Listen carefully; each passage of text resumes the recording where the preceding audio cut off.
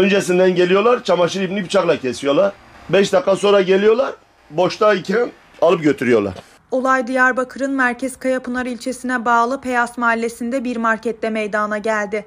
Karton toplayıcısı iki gencin yaptığı hırsızlık güvenlik kameralarına yansıdı. Görüntülerde hırsızların gece saat 00.54'te önce el arabasıyla marketin önünde duran tabelanın ipini söktüğü görülüyor.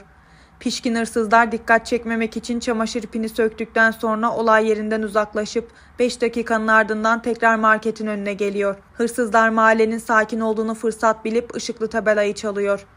Hırsızlık olayının olduğu sabah dükkanını açan market işletmecisi Mehmet Katran, 1 metre eninde 4 metre uzunluğundaki ışıklı tabelasının yerinde olmadığını belirterek çalındığını söyledi.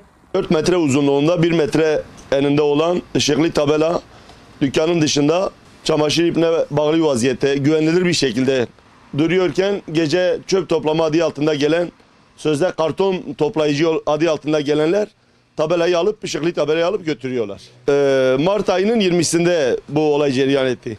Şikayette bulundum. Davacı şikayetçiyim diye karakola talepte bulundum. Ee, benzer durumda e, mağdur olan arkadaşlar da var. Dışarıda hiçbir şey bulamasalar plastik boş çöp bidonunu görseler onu da götürmek götürüyorlar. Götürülen tabelanın maddi değeri 12-13 bin lira. Vatandaşlar olarak bir ricamız olacak.